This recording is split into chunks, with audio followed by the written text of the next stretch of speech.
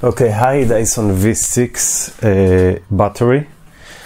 I've already opened the battery.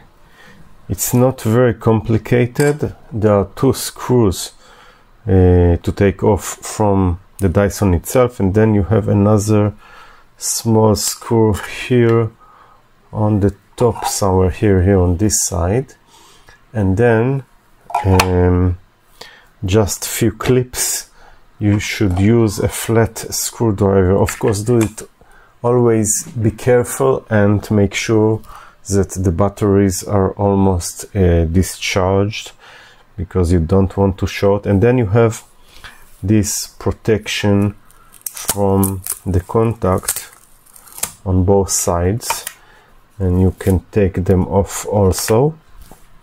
And the next thing of course will be to take a picture how it is built because not to to be wrong with the polarity although it's very common that you go from the plus which is the red and then this is the plus tab and then you have the minus and from there minus to plus and it's go all over till you get the minus on the other side. So the better is of course to take a picture not to make any mistake but it's uh, pretty common.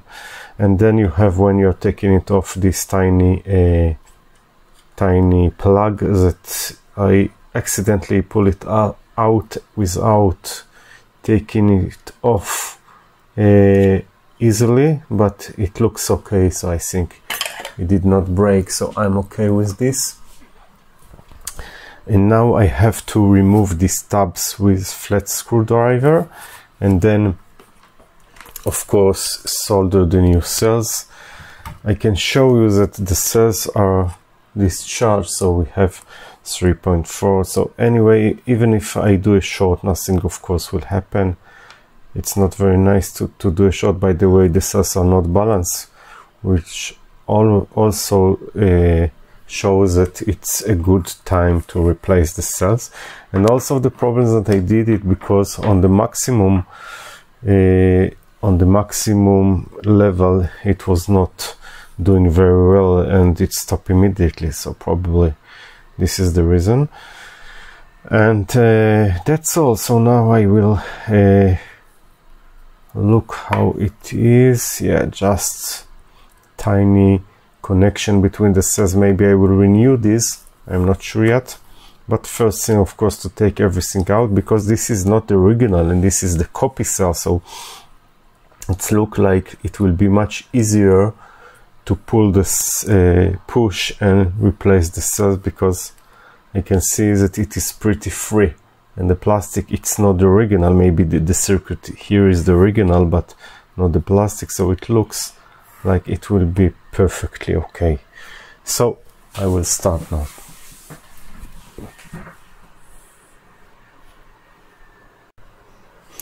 Okay so you can see I have started already disassemble this wire here and I think that it is better to cut them because I don't want to short when I'm disconnecting the positive side here.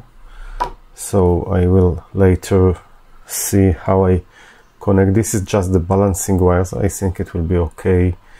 I will manage maybe uh, I don't know how. We'll see.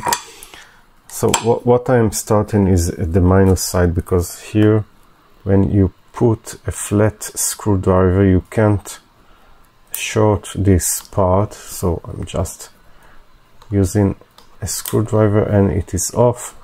But on the positive side it's a different story and I don't want to short anything so uh, you see it is already off. Uh, or maybe now we'll try very carefully not to short here. Uh, I need to be very careful when putting the screwdriver from the top. Uh, I know that the cells are almost totally discharged so maybe I can take with a plier. It's not a very good but ah you see. Part of it is okay. And now on the other side this is disconnected and this is disconnected. So these two cells are already disconnected.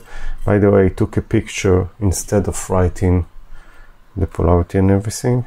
One picture is better than 1000 words okay so here what I'm going to do is to use again this plier and cut. Ah you see? I did a short. This is exactly what you want to avoid. Anyway these cells are dis almost discharged so you see that nothing nothing significantly happened but this is why you have to make sure that the cell are discharged when you're doing it. And now I like to to disconnect because again I don't want any shorts. So these are the cells I don't know which they are but it is written 2000 I'm not sure they're Chinese probably. We later check them. And this cells is already out. So you can see maybe I will use its tab or do something very similar to this one because the tab looks okay. Uh, for connecting the positive you see it's, it it is with uh, an angle in order to connect it. So uh, I will see later okay so now only four last cells. So again what I will do is try not to do a short while disconnecting it.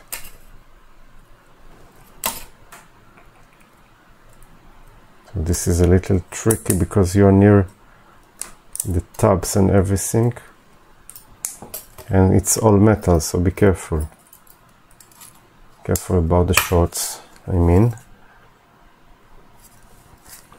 And one okay we disconnect now the negative.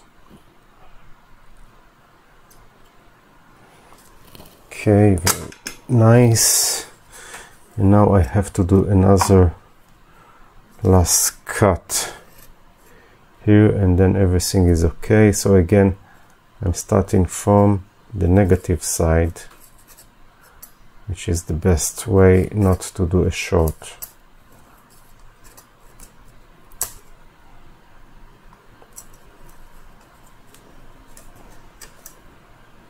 Okay. Now on the other side of this tab and now I will take another cut here. And you see that almost everything is out here.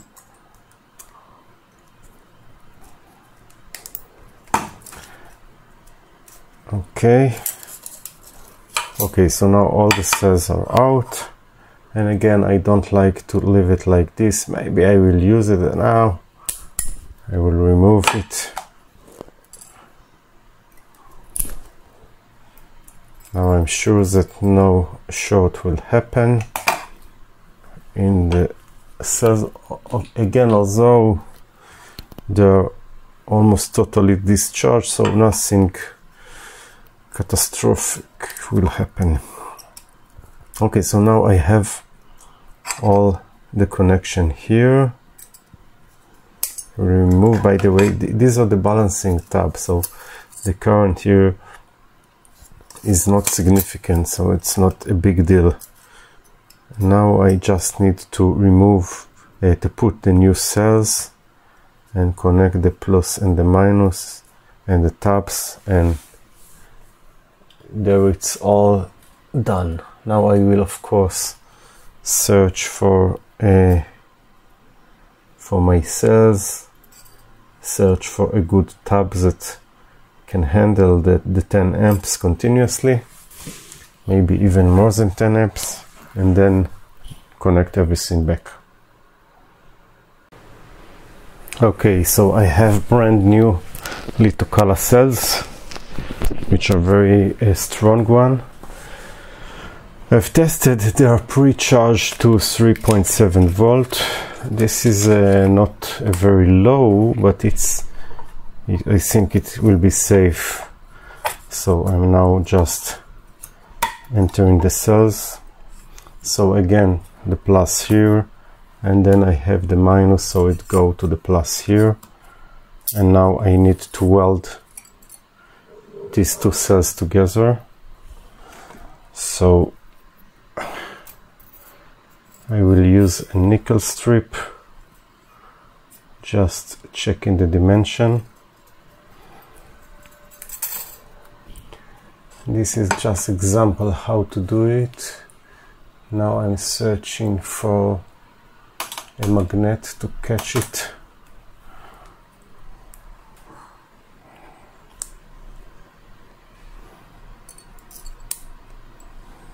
And now I will start from the positive one.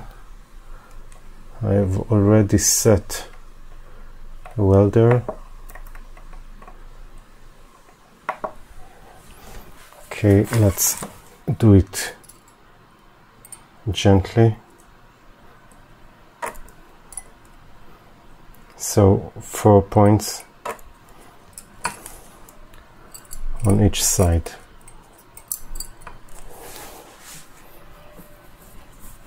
And this is the way to go over step by step till everything is soldered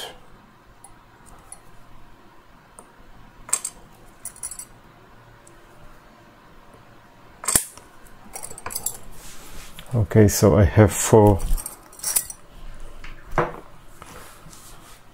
four spots and now this part I can I don't know if I can weld it also, although I can also uh, use a soldering iron to to solder it because again this is not a very high current but I don't like to do it. I will do it because I don't want to to do a short on the side of a this negative. So it's a little tricky here. How to do it correctly. So maybe I will just use a soldering iron and see if I can do it easily and quickly.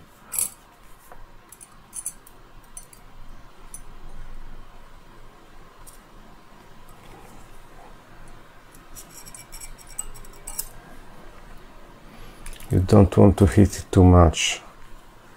So just something like this. And that's all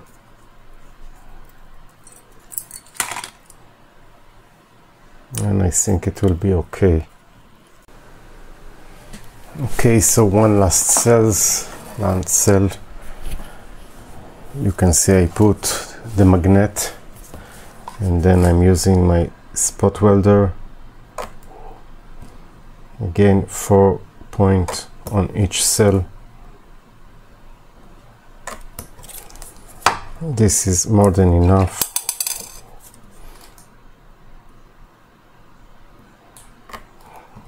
okay.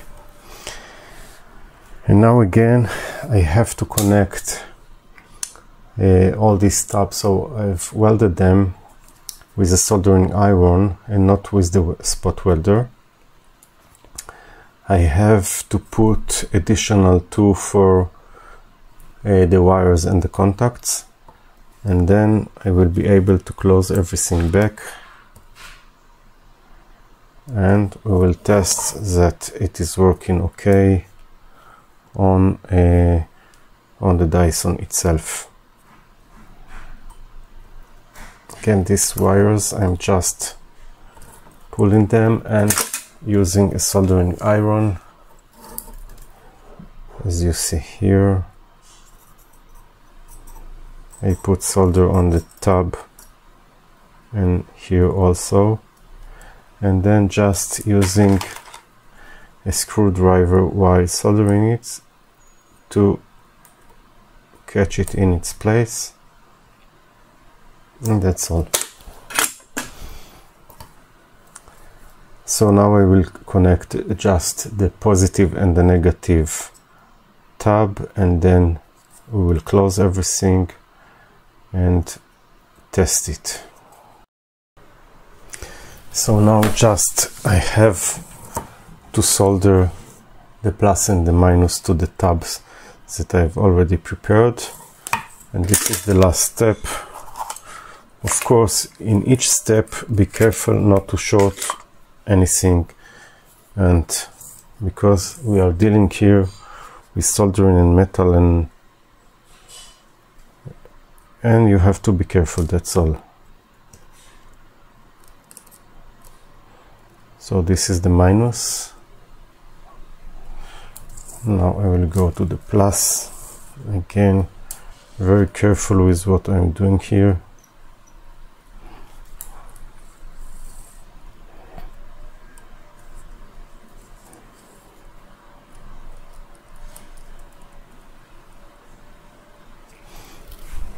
Okay. Now just need to close everything and test it. By the way there is a thermocouple that sense the temperature of the cell so I just use a Kapton tape to catch it better because it's not really uh, on the right side.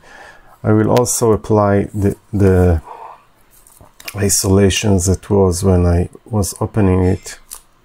This is always a good thing to do where is the second one? Found.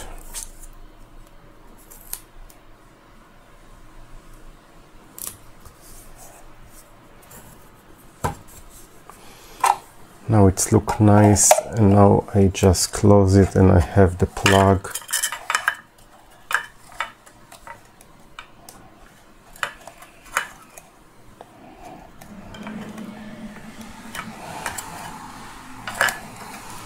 don't forget to close the plug well. And now just the clips.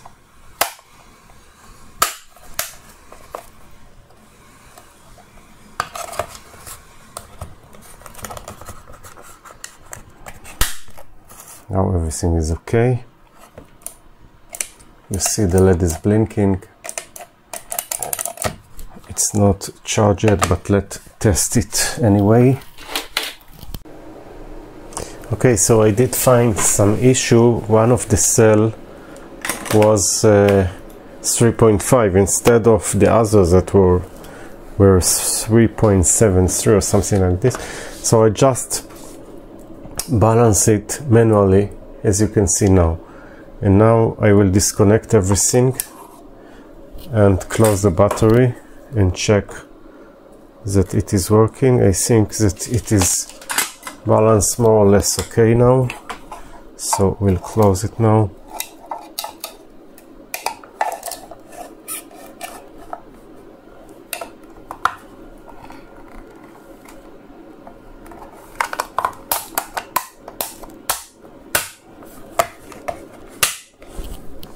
And now we'll put it here and as you can see it is working. So I was using this spot welder that I've upgraded to be a portable. So I've added this uh, welder tab that I can disassemble. So it's ah, you can just pull it like this off.